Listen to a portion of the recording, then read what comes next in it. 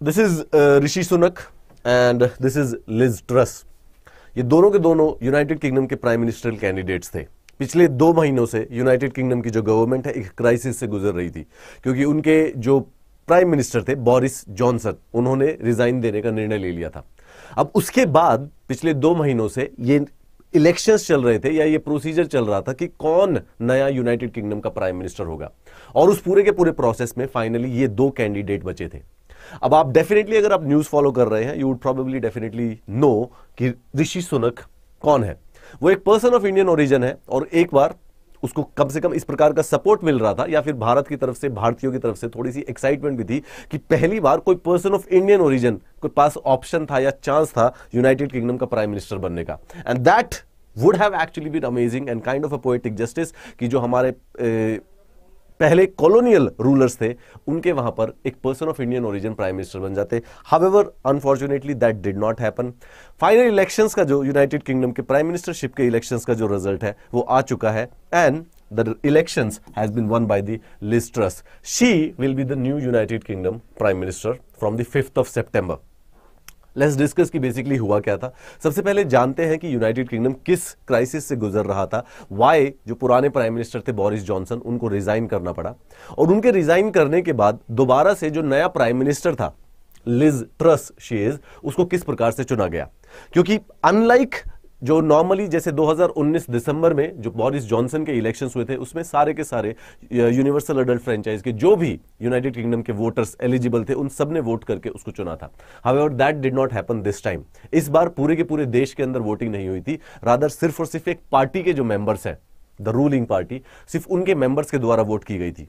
उन इलेक्शंस के रिज़ल्ट में बेसिकली सिर्फ़ डेढ़ लाख के करीब यूनाइटेड किंगडम्स के सिटीजन्स ने पार्टी इस वाले इलेक्शंस में, लिज ट्रस और ऋषि सुनक के बीच में से कौन प्राइम मिनिस्टर होगा, इस इलेक्शन में सिर्फ़ एक लाख साठ हज़ार यूनाइटेड किंगडम के सिटीजन्स ने पार्टिसिपेट किया था। वाई क्यों ऐसा प्रोसेस हुआ? चलिए उसके बारे में जानते हैं। द फ़र्स्ट थिंग सबसे पहले, ये जो ब्रिटेन के कंजर्वेटिव पार्टी ब्रिटेन में दो मेजर इंपॉर्टेंट पार्टीज़ हैं। एक जिसका नाम है कंजर्वेटिव पार्टी, दूसरा नाम है लेबर पार्टी। पिछली बार जब 2019 दिसंबर में इलेक्शंस हुए थे ब्रिटेन के अंदर तो कंजर्वेटिव पार्टी पार्लियामेंट में मेजोरिटी जीत गई। यानी कि ये इस समय यूनाइटेड किंगडम की रूलिंग पार्टी है। बोरिस जॉनसन उस समय प्राइम मिनिस्टर बने थे। बोरिस जॉनसन के कैबिनेट के अंदर ही जो मिस लिज ट्रस है, ये फॉरेन सेक्रेटरी थी।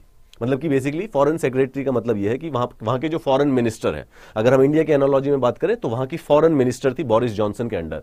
और इनका मेन कॉम्पिटिशन था ऋषि सुनक के साथ। ऋषि सुनक वहाँ पे former chancellor of the exchequer थे, यानी कि फाइनेंस मिनिस्टर मतलब आप ये समझिए, अगर हम इंडिया के एनोलॉजी में बात करें तो जो बोरिस जॉनसन है, वो प्राइम मिनिस्टर थे।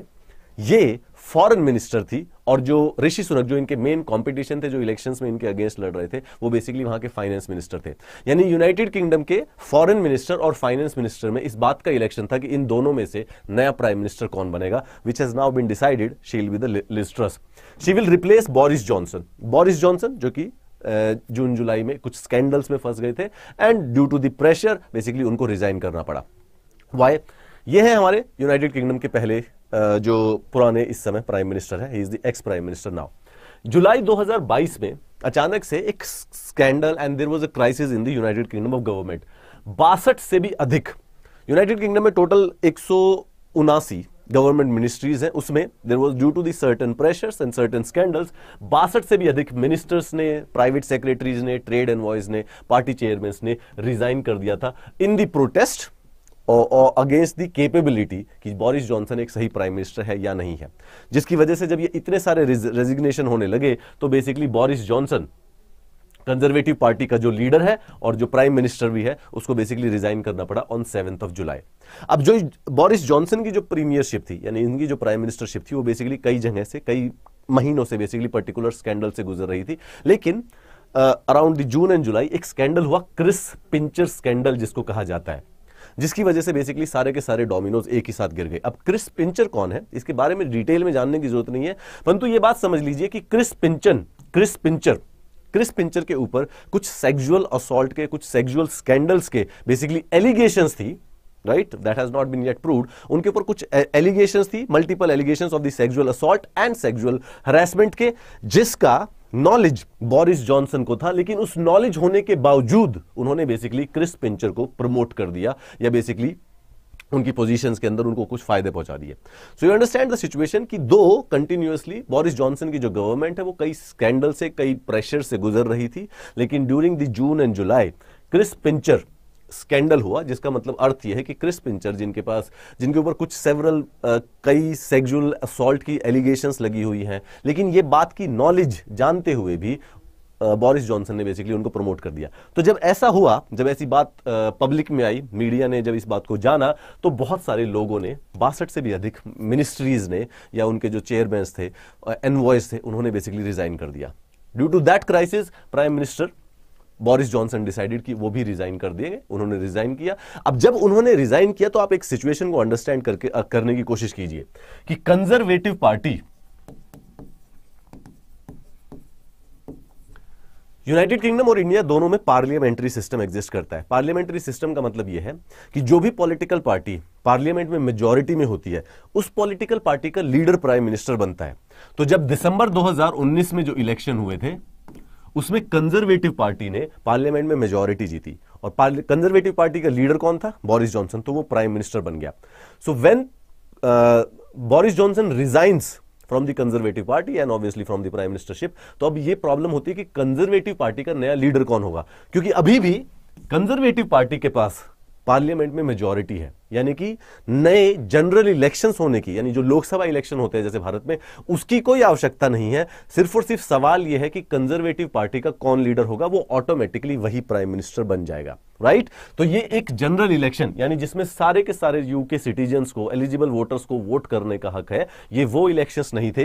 ये सिर्फ़ और सिर्फ़ मुद्दा था कि कंजर्वेटिव पार्टी जिसके पास पार्लियामेंट में मेजोरिटी है, उसका लीडर कौन बनेगा? क्योंकि जो भी उसका लीडर बनेगा that person will go on to become the leader of the government of the Britain also and the government also basically so this was the issue अब ये बात ध्यान रखिएगा कि जनरल इलेक्शन होते तो फिर बेसिकली पूरे के पूरे देश के इलेक्शन होते हैं फिर मेजोरिटी आती फिर उसके बाद लीडर से। सो so, इस केस के अंदर स्पेसिफिकली जो कंजर्वेटिव uh, पार्टी है जो कि इस समय मेजोरिटी में है यूनाइटेड किंगडम में उसके एट कैंडिडेट्स आठ से अधिक कैंडिडेट्स ने अपना बेसिकली पर्चा भरा था कि हम कंजर्वेटिव पार्टी की लीडरशिप के लिए इलेक्शंस लड़ना चाहते हैं। दोज वर लिस्ट्रस जो कि फाइनली जीती।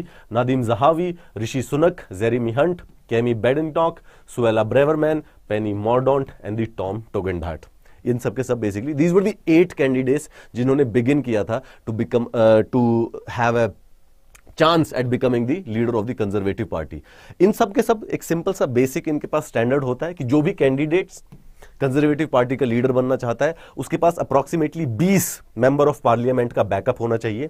एक तो वो जो कि प्रपोज करे उनका नाम, एक वो जो कि सेकंड एक और कहे कि हाँ मैं भी प्रपोज करना चाहता हूँ और 18 बेसिकली जो सपोर्ट करे।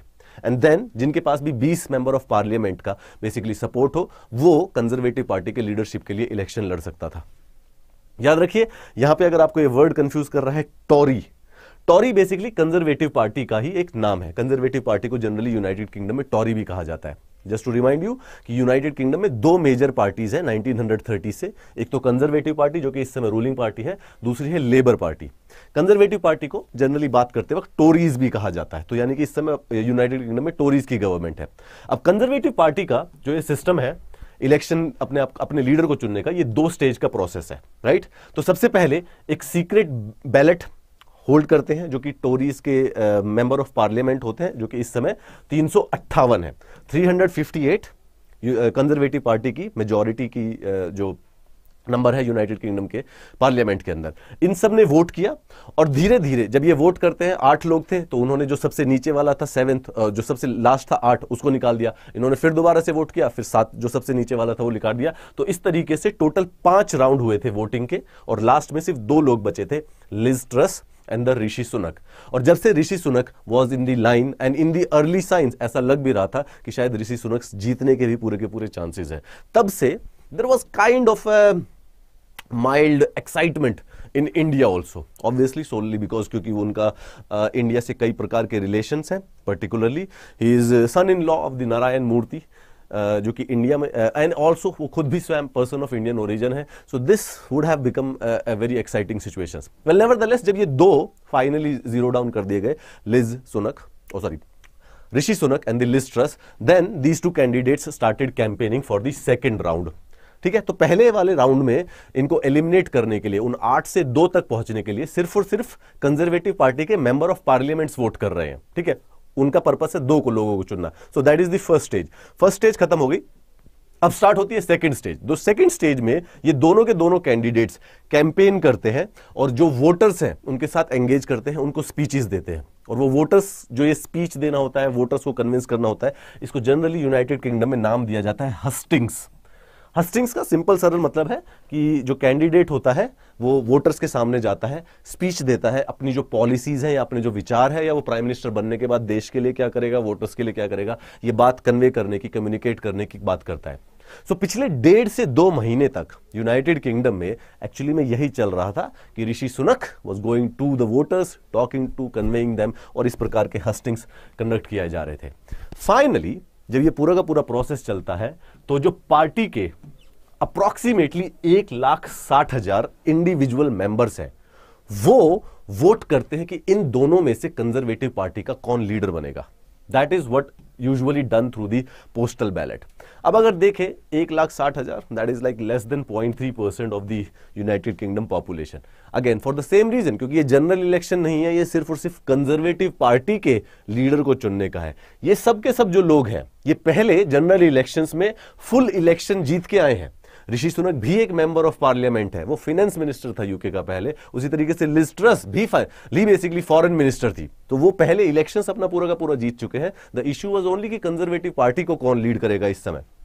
पार्टी के जो मेंबर्स होते हैं कंजर्वेटिव पार्टी के मेंबर्स इनकी एक एनुअल सब्सक्रिप्शन फ़ीस होती है तीस डॉलर के करीब की। पोस्टल बैलेट के द्वारा इन्होंने सबने इलेक्शन किए और उसके बाद जो फाइनल इलेक्शंस का जो रिज़ल्ट था, आज पाँच सितंबर को अनाउंस किया गया। And the result is that कि Rishi Sunak who was expected to become the U, first PIO uh, Indian uh, UK Prime Minister, has actually lost. Rather, Liz Truss जो है Liz Truss जो है she is the new UK Prime Minister.